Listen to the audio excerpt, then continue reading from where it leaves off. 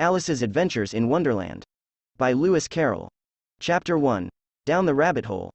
Alice was beginning to get very tired of sitting by her sister on the bank, and of having nothing to do. Once or twice she had peeped into the book her sister was reading, but it had no pictures or conversations in it, and what is the use of a book, thought Alice, without pictures or conversations? So she was considering in her own mind, as well as she could, for the hot day made her feel very sleepy and stupid, whether the pleasure of making a daisy chain would be worth the trouble of getting up and picking the daisies, when suddenly a white rabbit with pink eyes ran close by her. There was nothing so very remarkable in that, nor did Alice think it so very much out of the way to hear the rabbit say to itself, Oh dear.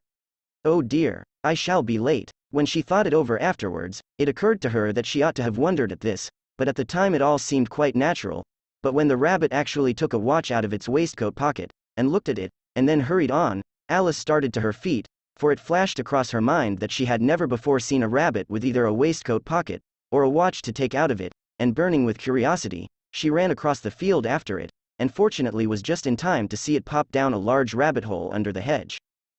In another moment down went Alice after it, never once considering how in the world she was to get out again. The rabbit hole went straight on like a tunnel for some way, and then dipped suddenly down, so suddenly that Alice had not a moment to think about stopping herself before she found herself falling down a very deep well.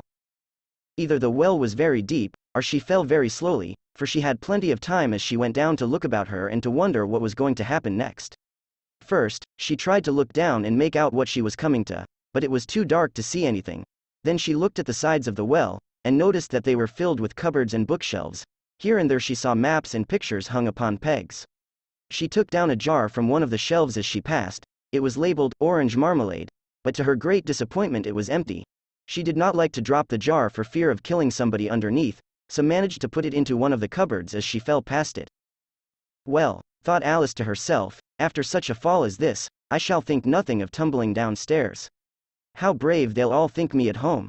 Why, I wouldn't say anything about it, even if I fell off the top of the house. Which was very likely true.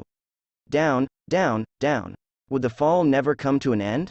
I wonder how many miles have fallen by this time. She said aloud, I must be getting somewhere near the center of the earth. Let me see. That would be 4,000 miles down, I think, for, you see, Alice had learned several things of this sort in her lessons in the schoolroom, and though this was not a very good opportunity for showing off her knowledge, as there was no one to listen to her, still it was good practice to say it over, yes, that's about the right distance, but then I wonder what latitude or longitude I've got to. Alice had no idea what latitude was, or longitude either, but thought they were nice grand words to say. Presently she began again, I wonder if I shall fall right through the earth. How funny it'll seem to come out among the people that walk with their heads downward. The antipathies, I think, she was rather glad there was no one listening, this time, as it didn't sound at all the right word, but I shall have to ask them what the name of the country is, you know. Please, ma'am, is this New Zealand or Australia?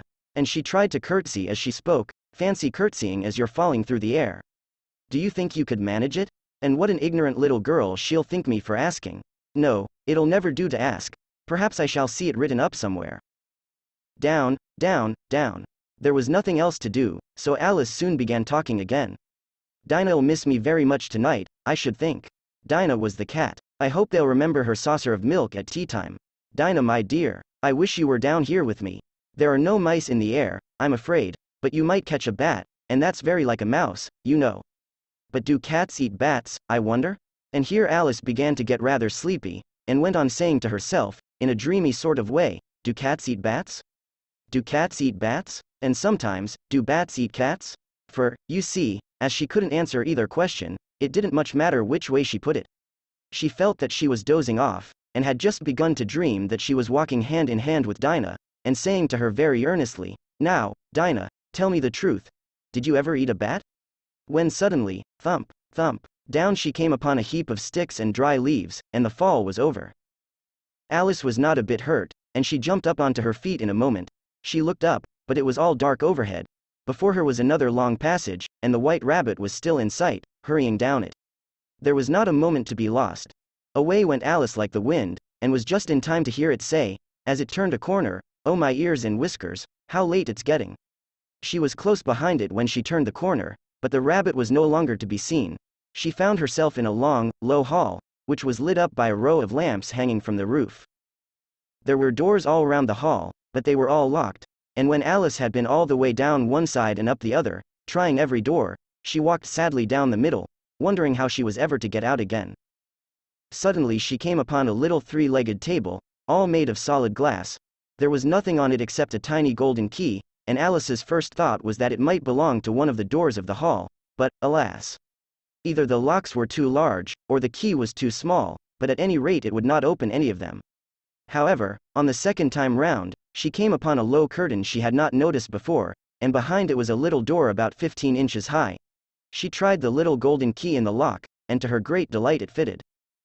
Alice opened the door and found that it led into a small passage, not much larger than a rat hole. She knelt down and looked along the passage into the loveliest garden you ever saw. How she longed to get out of that dark hall, and wander about among those beds of bright flowers and those cool fountains, but she could not even get her head through the doorway, and even if my head would go through, thought poor Alice, it would be of very little use without my shoulders. Oh, how I wish I could shut up like a telescope. I think I could, if I only knew how to begin.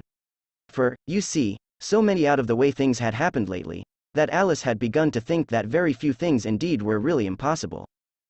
There seemed to be no use in waiting by the little door, so she went back to the table, half hoping she might find another key on it, or at any rate a book of rules for shutting people up like telescopes, this time she found a little bottle on it, which certainly was not here before, said Alice, and round the neck of the bottle was a paper label, with the words, Drink me, beautifully printed on it in large letters.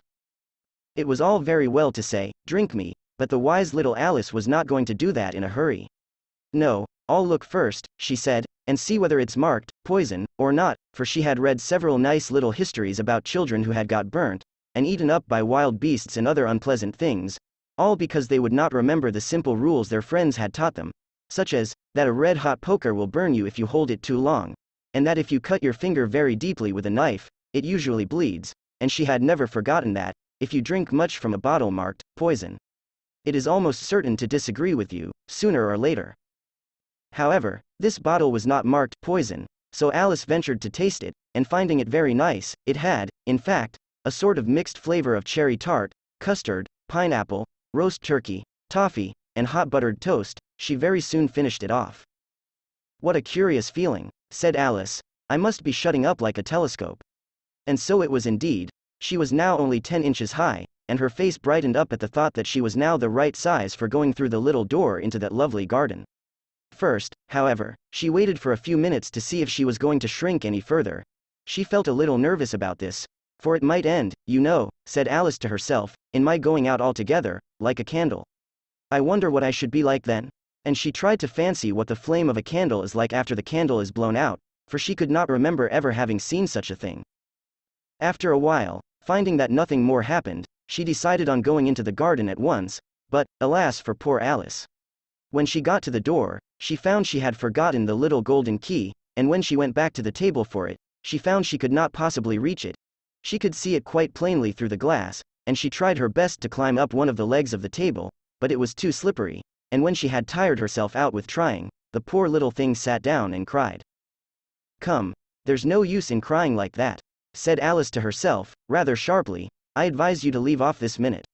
She generally gave herself very good advice, though she very seldom followed it, and sometimes she scolded herself so severely as to bring tears into her eyes, and once she remembered trying to box her own ears for having cheated herself in a game of croquet she was playing against herself, for this curious child was very fond of pretending to be two people.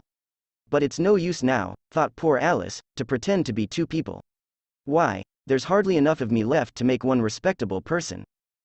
Soon her eye fell on a little glass box that was lying under the table. She opened it, and found in it a very small cake, on which the words, Eat me, were beautifully marked in currants. Well, I'll eat it, said Alice, and if it makes me grow larger, I can reach the key, and if it makes me grow smaller, I can creep under the door, so either way I'll get into the garden, and I don't care which happens.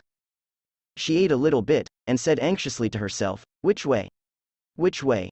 Holding her hand on the top of her head to feel which way it was growing, and she was quite surprised to find that she remained the same size. To be sure, this generally happens when one eats cake, but Alice had got so much into the way of expecting nothing but out of the way things to happen, that it seemed quite dull and stupid for life to go on in the common way.